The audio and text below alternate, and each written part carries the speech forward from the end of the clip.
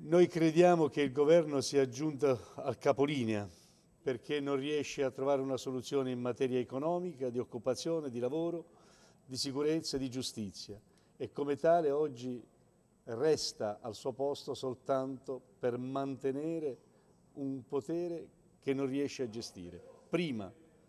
ci sono le dimissioni di questo governo, prima si va a votare, meglio è per il Paese. È una decisione doppiamente scorretta quella del governo brasiliano, primo perché viola gli accordi di cooperazione in materia giudiziaria fra Italia e Brasile, secondo perché è una decisione oggettivamente in favore del terrorismo e quindi oggi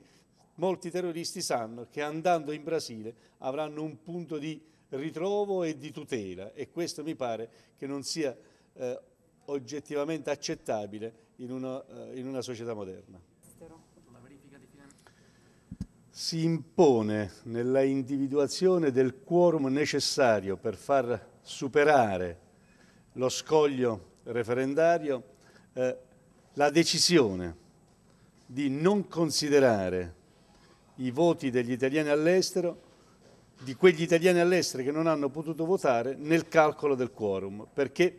è sì un diritto, quello degli italiani all'estero, di votare, ma se questo diritto gli viene tolto, poi addirittura non può essere usato questa lesione del loro diritto in un abuso per non far raggiungere nemmeno il quorum agli italiani